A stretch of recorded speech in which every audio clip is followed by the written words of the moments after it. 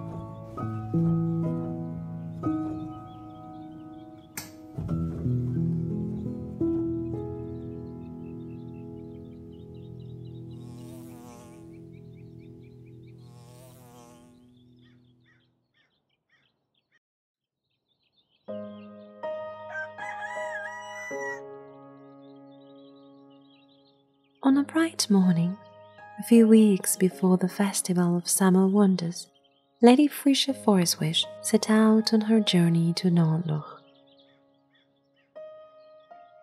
Northbound carriages always leave Meadowgrass Village from near the park gates on the other side of the treehouse library. The trip continues through the village, crossing the stone bridge to Aconfield and past the vast meadows of Quiet Pond where the small kingdom ruled by the House of Asterlance lies. On the same carriage was Lord Vallerine, the senior member of the Council of the Valley, who was also travelling to the neighbouring town, as it is there where meadow grasses purchase most of the fabrics for the festival buntings and attires. Lord Vallerine was a bit surprised to see Lady Foreswish heading north carrying her suitcase but as usual, he was glad to see her and share a carriage with her. Lord Vallerine, a very capable man, is the heart of the town. Even though he always has a bright smile on his face, he is in charge of all serious matters. Everything important in Meadowgrass Village passes through his hands. But with his cheerful personality and singular charisma, he also plays an essential role during festivals and events. Lady Freesia will trust Lord Valerian with her life, but this time she couldn't tell him the real reason for her visit and simply told him she was in search of new herbs for her apothecary and spent the rest of the trip sharing delicious treats and contemplating the bountiful green vegetation at the sides of the road. After the carriage dropped her at the doors of the palace, Lady Foreswish was escorted by the maids and welcomed by the King and Queen of Nordloch. The Asterlances look nothing like the elegant portraits. The faces look pale and full of sorrow. Lady Freesia comprehended the gravity of the matter. After the couple acquainted her with the details of all the prestigious doctors that had abandoned the case, it was time for Lady Freesia to meet the princess. The room was not what she expected. It was different to the rest of the palace. The damsel was lying in bed. Her blonde hair and emerald eyes had lost their sparkle. Her rosy cheeks were now tainted by dark circles under the eyes. Lady Freesia kindly asked the princess a few questions but it was her parents who answered them every time. The princess nodded. Lady Freesia carefully observed the room again. There was something particular about it. It was cheerful, simpler, and above all, it felt familiar. Lady Freesia asked if she could have a moment alone with the princess. Her parents left the room. Princess Amelia looked tired, but above all, she looked lifeless. Lady Freesia asked her a few more questions, and with each answer, her concerns grew stronger. She walked around the room and stopped in front of a piece of old bunting on the wall. A few steps away, there was a small glass cabinet where more familiar items were displayed.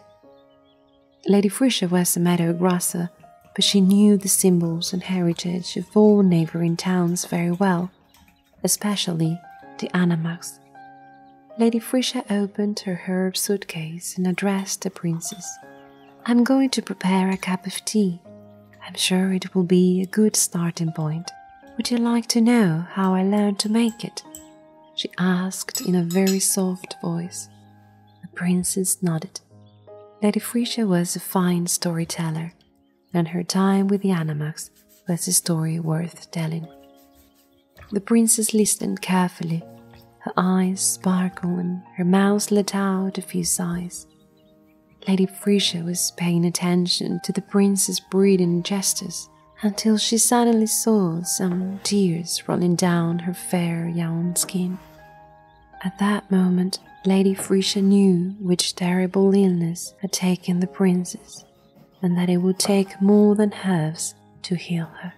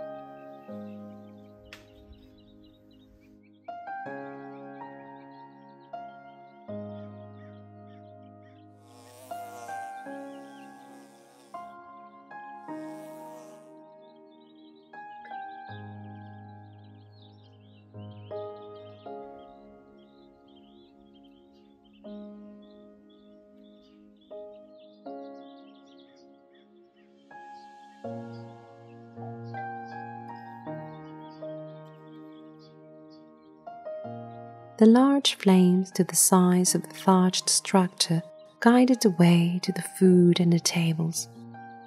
In the center, a huge wooden table accommodated the delights gratefully displayed. Mrs. Rochelle Flowerberry was undoubtedly in charge of the banquet and baked most of the desserts. Garden salads, pies, stuffed mushrooms, and roasted vegetable platters, corns on the cob, berry crumble, and dessert galore were placed on stands with several layers, adorned with flowers and green leaves. To the sides, two other tables offer the guests colorful plates, bowls, and mugs to serve the food. Halved infused lemonade, chamomile malt, and oat beer were available in huge barrels. Summer banquets the last evening of the Festival of Summer Wonders in Meadowgrass Village are closed with a breathtaking spectacle, with performances from two visiting towns and, of course, the final speech by the residents of Meadowgrass Village. Villagers from all corners gather around the tables to share anecdotes and drinks. While some prefer to dance, and others stayed close to the buffet, savoring the last crumbs. Many approached the table of old Mrs. Lindsay Whitlambert, the village storyteller, whose tales whisked them away to magical realms beyond their imaginations. Mrs. Lindsay has charming eyes and a soothing voice, and as she always wears the red lipstick her good friend Lady Freesia makes for her with rose petals, she is one of the most elegant people in town. At her table, other personalities like Lady Freesia, Lord Valerian, Mrs. Lunacia Moon, Mrs. Yarraby, and Mr. Christoph Grauharp were pleased to enjoy the company of their fellow villagers. Whenever Mrs. Lindsay needed a pause, Mrs. Lunacia entertained her friends at the table by talking about the events at the Treehouse Library next autumn. When the crowd had eaten, drunk, and danced enough, everyone returned to the seats. And the silence of the evening, only interrupted by the crackling flames, the fluttering wings of a bird were heard. Mr. Grauharp's bed, a friendly crow, flew towards him and purred on his shoulder. He stood up and walked to the center. Mr. Grauharp was a very shy man, and only those who knew him well knew how smart and kind he was. With his wingy friend on his shoulder, he overcame his shyness and, like every summer, he presented the musical spectacle that everyone awaited. This year, the Nordloch people were in charge of the opening, with a whimsical and relaxing concert of harps and fellows. Fellows are very delicate and difficult to play, and just a few musicians can really master it. After the Nordlochians came the Anamachs, with a concert of instruments that imitate the sounds of nature and mass in the villages in a world of wonder. Once the concerts were over, it was time for Meadow Grasses to invite the friends to the Lake of Dreams for the final event. A few seconds after they left the tables, a group of approaching lights caught the attention of the residents. And when the carriage and the flags were recognizable, Lady Freesia Foreswish knew that what she had done was the right thing to do.